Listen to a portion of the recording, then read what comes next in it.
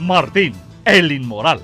Para nadie es un secreto, tanto en su vida personal como en el ejercicio público, el ladrón Martín Orozco ha demostrado de manera fehaciente e irrefutable estar convencido de que para él la moral es solo un árbol que da moras. Hoy pretende erigirse en el paladín de la justicia y señalar con flamígero dedo presuntos hierros al interior de su partido y arremete contra su dirigente nacional y contra otros personajes que no se han plegado a sus etílicos caprichos.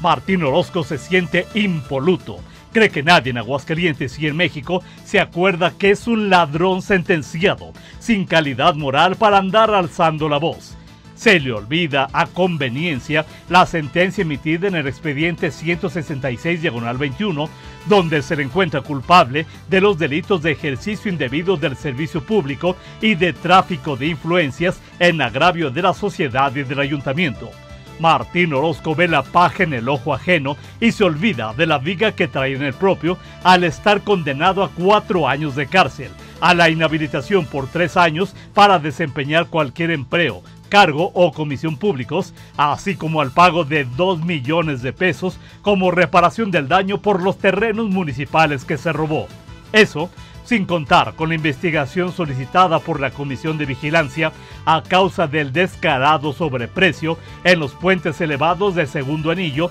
y los millones de pesos que se robó de participaciones federales. ¿Y qué me dices, Martín, del levantón del pepenador que se metió a robar a tu casa? y cuyo cadáver aún permanece como no localizado, así como del misterioso suicidio del comandante rojo cuando lo llevaban a declarar de este caso. Martín, con tu historial delictivo, más te convendría taparte y no andar de boqui flojo y de hablador.